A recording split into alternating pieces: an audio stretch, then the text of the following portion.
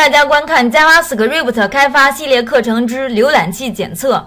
通过本系列视频的学习，大家可以掌握如何使用 Navigator 对象实现浏览器的检测，以及客户端检测的不同方式。我们为什么要进行浏览器检测呢？因为每个浏览器都有自己特有的属性和方法。我们写的 JS 代码就很有可能在这个浏览器上能正常运行，但是换一个浏览器就会出现 bug。所以说，这就要求我们写出的 JS 代码要最大限度的去兼容主流浏览器。所以我们要进行浏览器检测。首先，我们看一下 Navigator 对象。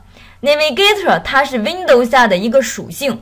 它本身也是一个对象类型的，这个对象描述的就是浏览器。嗯，我们关于 Navigator 对象会学习如何使用 Navigator 来获取浏览器及版本号，以及浏览器嗅嗅探器，还有就是检测插件的方式，以及 IE 中呃 ActiveX 这个控件的检测，还有就是 MIME 类型。下面呢，我们先看一下前两个问题，一个是浏览器及版本号的获取，还有就是浏览器嗅探器。Navigator 呢，它已经成为客户端浏览器的标准。呃，每个浏览器中的 Navigator 对象都有自己的属性和方法。我们看一下这张表，它的属性和方法非常多，而且表中也列出了各个浏览。这个各个主流的浏览器是否支持这些属性和方法呢？咱们主要掌握一些这个常用的就行了。我们下面看一下，比如说我们要获取浏览器的名称，我们就可以通过 Navigator 对象来获取 Navigator 这个里面的 App Name 这个属性，保存了这个当前所使用的浏览器的名称。我们先用这个。呃，谷歌浏览器看一下，谷歌这个显示的是网景，但是也就是说没有显示这个浏览器本身的这个名字。再看一下火狐，火狐显示的也是网景。再看一下这个苹果的这个 Safari 浏览器，它显示的也是网景。再看一下这个 Opera 这个欧鹏浏览器。这个浏览器同样显示的也是这个名称。再看一下最后的，我们看一下 IE 浏览器，它显示的也是这个。也就是说呢，Navigator 的 App Name 属性不能准确的显示浏览器的名称。下面我们再看一下获取浏览器代理信息的属性，这个呢叫 Navigator 点什么 User Agent。浏览器代理信息，我们通过这个属性来得到。我们还是每个浏览器都来看一下。首先看一下火狐，火狐呢，我们大家看一下，这个显示的是 Mozilla 5.0。然后后边我们看一下，这个是我当前所使用的操作系统 Win 十。另外呢，这个是这个浏览器所使用的引擎。后边呢，这个就是什么了？呃，这个是谷歌的，是吧？这个这个是 Chrome，然后呢，这个是 Safari，这个这两款浏览器，这就是它内部的问题了啊。我们再看一下火狐浏览器，火狐浏览器它显示的是，同样前面也是 Mozilla 5.0，然后呢，这个是操作系统，这个是什么？浏览器所使用的引擎，最后这个显示的是火狐浏览器当前的版本。我们再看一下。Safari 浏览器，这个呢，同样最开始还是什么 Mozilla 这个5.0，这个后边呢是这款浏览器使用的引擎，后边呢这个最后这一项就是呃 Safari 浏览器所当前的版本儿。再看一下欧鹏浏览器，这个还是前面还是 Mozilla 5.0。后边呢，这个是它这款浏览器所使用的引擎。最后这一项显示的是这个 Opera 浏览器它当前的版本儿。我们最后再看一下 IE 浏览器。IE 浏览器，大家看它开头也是这个 Mozilla 5.0，然后呢后边大家看一下，没有显示它的引擎，然后再看这儿了，版本号在这。我当前这个 IE 是十一的 IE 十一，这个是。那么我们会发现这几款浏览器它前面都显示了 Mozilla 5.0。那么这个属于什么呢？这个属于 App Code Name 属性的值。这个我们称为什么？浏览器名称通常都是什么？通常都是 Mozilla 啊。也就是说，即使不是这个，即使不是火狐浏览器，它显示的也是这一个。这是得到浏览器代理信息。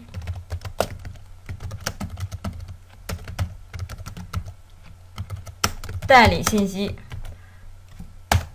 下面我们再看一下，得到浏览器所属的那个平台 navigator 点 platform，platform 也就是我当前这个电脑的操作系统运行。嗯，谷歌浏览器显示的是这个 Windows。没有显示具体的版本儿。再看一下火狐，火狐呢显示的也是这个。再看一下 Safari，也是这个。再看一下 Opera，也是三，也是这个。下面我们看一下 IE，都是一样的，也是这个。好的，这是我们得到一些常用的属性，通过 Navigator 对象。下面呢，我们看一下浏览器嗅探器，这是什么东西呢？来，浏览器嗅探器呢，其实就是一段 GS 代码。我们通过这段 GS 代码呢，可以准确的得到浏览器的名称、版本，还有就是这个浏览器所使用。呃，被使用时所在的那个操作系统，大家看一下，我这已经写好了这一段 GS 代码，它可以给你检测出来你那个浏览器真正的名称，还有实际的版本。这个 GS 代码呢，这个比较长，所以呢，我们写在了一个单独的 GS 文件当中。首先呢，我们看一下如何使用这个 GS 文件中的代码。我们在上面使用 script 的标签儿。把这个 GS 文件给它引入一下，这个涉及到的属性一个是 type，指定一下你引入文件的类型，选择这个 text JavaScript，通过 src 属性来指明这个 GS 文件的这个路径以及文件的名称。我这个文件呢，直接放到工程下的 GS 文件夹下，所以说我们在这儿就需要写相对路径相对路径就行了。GS 下的 Browser Detect GS。好的，那么这样呢，我们就把这个 GS 文件中的代码加入到了当前这个 HTML 文件当中了。这个 GS 文件里边，它最后已经去执行了，就是这句话 init。啊，执行了之后呢，来看一下，我们得到一下这个浏览器的准确的名称，我们就可以使用这个这个里面的 GS 代码了。对应的这个类呢是 Browser Detect，啊，也就说它这个里面定义了一种类型叫 Browser Detect，啊，Browser 浏览器的意思是吧？嗯，Detect。通过这访问这里面的属性 browser 来得到浏览器名称。浏览器名称，我们看一下，首先看一下谷歌浏览器是不是得到的是 Chrome。火狐浏览器，火狐浏览器得到的是 Firefox。大家看一下，我们通过使通过使用这个嗅探器，准确的得到了每一个浏览器的名称。这个是 Safari IE 浏览器，IE 嗯，没问题。下面呢，我们得到一下每一个浏览器的版本儿。点 version，再获取一下操作系统。点 OS，分别看一下，嗯，谷歌浏览器。版本儿是吧？然后对应的系统，下面我们看一下火狐浏览器，Firefox 版本四十六，然后对应的系统。我们再看一下 IE 浏览器，IE，然后版本十一，然后呢 Windows 系统。现在呢，我们就可以准确的得到浏览器的名称和版本了。我这样，我们就可以通过判断浏览器的版本，呃，以及浏览器的这个名称，从而实现兼容了。比如说，咱们判断浏览器是不是 IE 六，判断是否是 IE 六，实现一下这个功能，if。它点什么点 browser？我们先看一下是不是 IE 浏览器，对吧？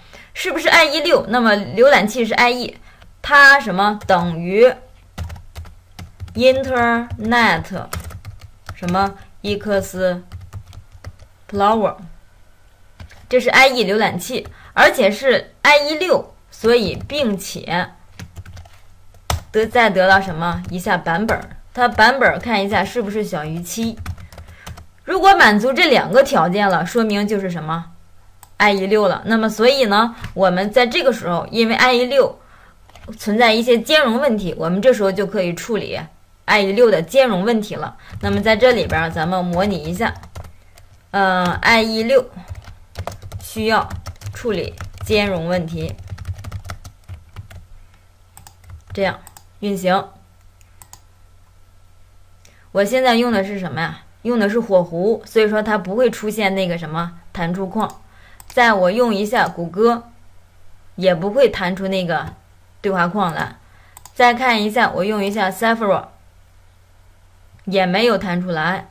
嗯，咱们最后看一下 IE，IE 也没有弹出来，因为我这个 IE 是十一的，对吧？所以说呢，咱们换成一个低版本的，进入这个开发模式。我们从这选一下，IE 六，大家看一下，这个时候就弹出来了，IE 六需要处理兼容问题。